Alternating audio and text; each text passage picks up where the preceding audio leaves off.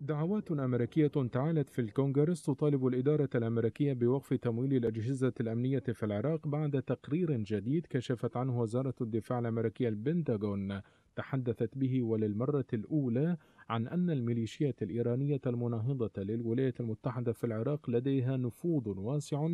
داخل الأجهزة الأمنية وتستفيد من أموال دافعي الضرائب الأمريكيين منذ فترة طويلة. المفتش العام للبنتاغون أبلغ الكونغرس في تقريره عن العملية العسكرية الأمريكية في المنطقة. أكد فيه أن إيران والميليشيات المتحالفة معها لا تزال تتمتع بعلاقات قوية مع عناصر قوات الأمن في العراق ولا سيما قوات الشرطة والطوارئ بإشراف من وزارة الداخلية الحالية فضلا عن الفرقتين الخامسة والثامنة في الجيش الحالي وهي الوحدات التي يعتقد أنها تتمتع بأكبر نفوذ إيراني.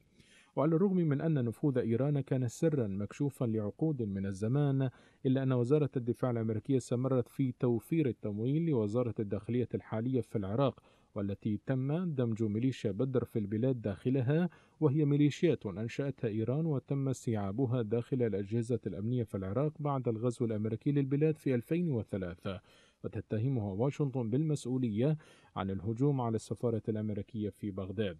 ولطالما كان الوجود البارز لميليشيا بدر في قوات الأمن في العراق مصدر قلق للصقور في الكونغرس لكن أول اعتراف علني من البنتاغون بسلطتهم هو تجديد الدعوات لإدارة جو بايدن بقطع الأموال عن وزارة الداخلية الحالية في العراق وتصنيف ميليشيا بدر ضمن لائحة الإرهاب بسبب علاقتها مع ميليشيا الحرس الثوري الإيراني. ووفقا لمسؤولين أمريكيين حاليين وسابقين فإن التقرير يمثل أول اعتراف رسمي بأن إيران متوغلة في قطاعات كبيرة من الأجهزة الأمنية في العراق. يضاف هذا إلى توغل إيراني آخر في قطاعات أخرى تسيطر عليها إيران عبر أذرعها في العراق من الميليشيات والأحزاب.